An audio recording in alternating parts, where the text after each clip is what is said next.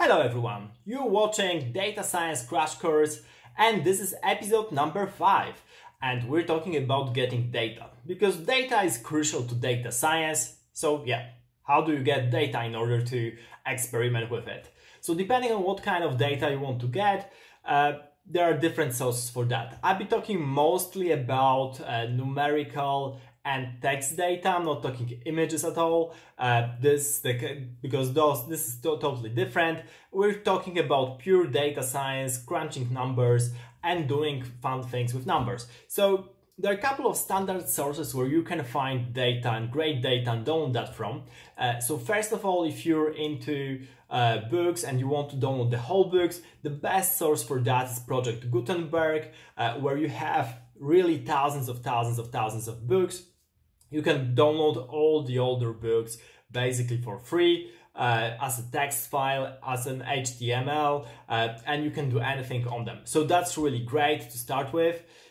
Then the second source is of course different financial websites because if you want to do analyze more numeric data then a great thing is to uh, get financial data and then different reports about uh, for example how the crops changed from year to year in a given country uh, in a given state uh, that's also a great thing to learn. There are different statistics which are mostly released by governments and you can either search for them on the internet, download them as tables. Sometimes you have to buy them if that's more specific detailed data, uh, but there's plenty of free resources on the web uh, with different tables, with different data. And it's fun to play with those because then you can start interpret uh, interpreting those data for you yourself and see what's true and what's not.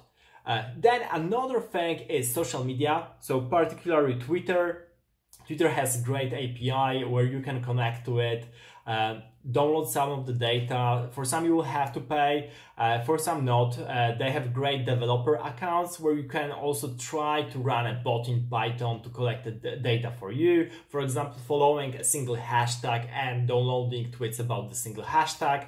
This is a great data to then uh, try to analyze that uh, related to sentiments, related to how people use different language uh, while talking about a particular event it's really great. And then the final source, which is uh, commonly used, is Kaggle. Uh, so kaggle.com, K-A-G-G-L-E uh, .com. That's a resource for data scientists, the place to go because uh, there are many different competitions related to data science and machine learning on that platform. Uh, so not not it, it's a great thing to to learn because you have all these different data sets related to different competitions. You don't have to take part in them in order to have the data. Uh, the data is free uh, for you to download, and there's absolutely everything from, for example, like uh, recommendations of different uh, what people are buying to what people are watching online to for example how different golfers are playing through all the tournaments. Uh, it's already mostly it's cleaned it's nice data that you can download and play around with and literally there are already hundreds and hundreds of data sets that you can use. So this is really a place to go. Some of this data is more complicated, uh, some not. Uh, there's plenty to see, uh, and definitely that, that should be your source to go for good data sources. Um, and of course, at the end, you have the whole web, uh, which you can scrape, which you can uh, download. Uh, so whatever website you follow, uh, you can try scraping those. Also, as a platform, I, for example, I love Medium, the publishing platform. They have really great uh, articles. Uh, I'm a member and I recommend that. but actually you can download many articles on Medium in order to scrape that for information. To see for example how many articles the, they are there are for artificial intelligence for machine learning for data science and try to extract the information from that. Uh, yeah so those are those are all the sources that you can use.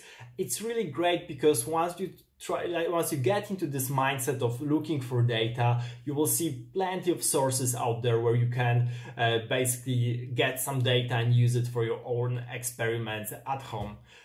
And yeah that's it for this episode. Good luck with getting your data and we'll talk what you can do with this data in the next couple of episodes. Thank you for watching and see you in the next episode